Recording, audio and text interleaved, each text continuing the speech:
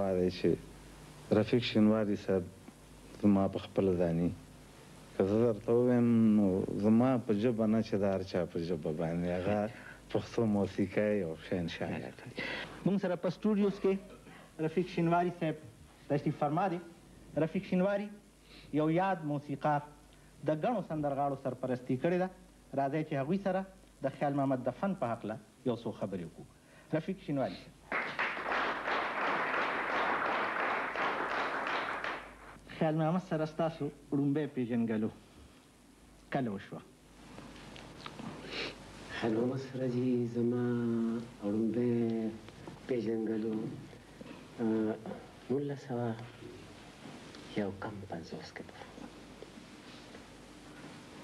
نو زما تاسو سره خو دا دویم ملاقات دی دلته خو خیر محمد زمونږ لکه څنګه مخکې چې ما ولي زما مرشد سید عبدالستار شاه باچا صاحب په ډبګرۍ کې ډېره وه نو هغې ته به خو هر رنګه ارټسټان خو بلکې لکه څنګه چې خیر محمد چې زما رور نو هغه رور هم د باچا صاحب ډېر په غلامانو کې و داسې دا ټوله کورنۍ باچا صاحب په دې خلکو ډېر مین و دوی به راتله بس دی یوه شپه راوست او باچا صاحب ته کېناست او چې خیر محمد اواز لږ دی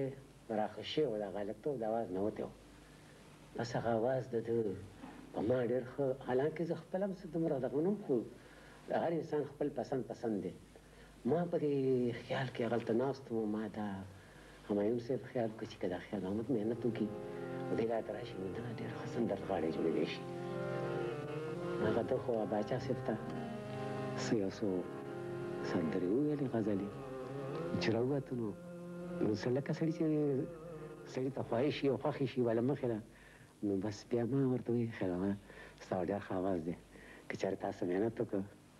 او په دې لار کې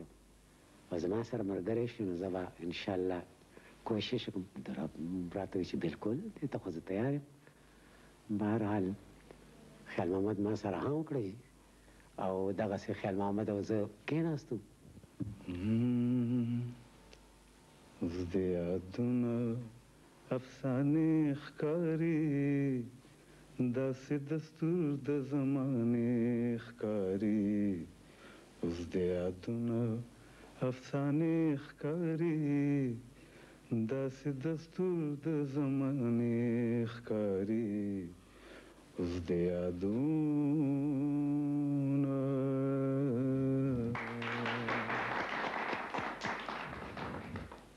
تاسو د ريډيو لپاره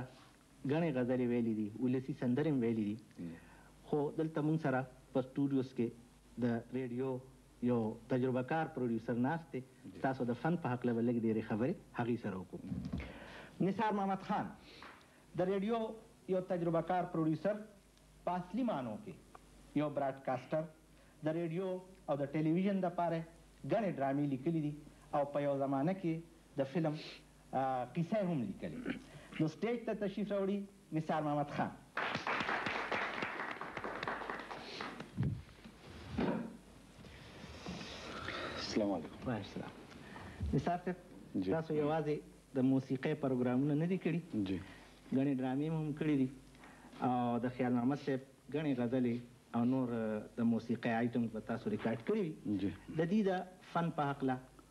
آ تاسو یو څو خبری مونږ سره وکړه. ستا د ښایست ګلونه ډیر دی جولای مې تنګه زه به کوم کوم ټولومه خبره دا ده چې د خیال محمد فن چې څوره پورې تعلق دی د دې خو زه د هغې به څه بیان وکړم د هغې بیان زما خیال چې په هر زړه کې چې کومو غوږو ته دا اواز رسېدلی دی، نو شاید چې دغه انداز یا دغه فن یا دغه بیان یا منفرد انداز د هر سړي په ذهن کې محفوظ دی. خیال محمد تاسو ته د څو غزلو استایه اورولې مطلع د غزل زما ذهن داسې فلش بیک یعنې وروسته لاړو چې یاره خیال محمد څه وخت کې نه و نو دا غزل به نن چا وې؟ که دا خیال محمد نه وې نو چې له خیال محمد نه مخکې څه وو؟ نو ذهن ته مې داسې ښه ښه آرټسټان راغله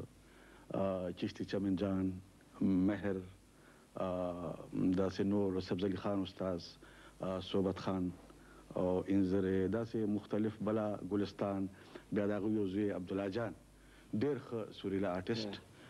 او بیا فدا حسین داسې په دغه زمانه کې ګلنار بیګم کیشور سلطان او دا ولسی سندرې به دې آرټیسټانو فنکارانو ویلې په ریډیو باندې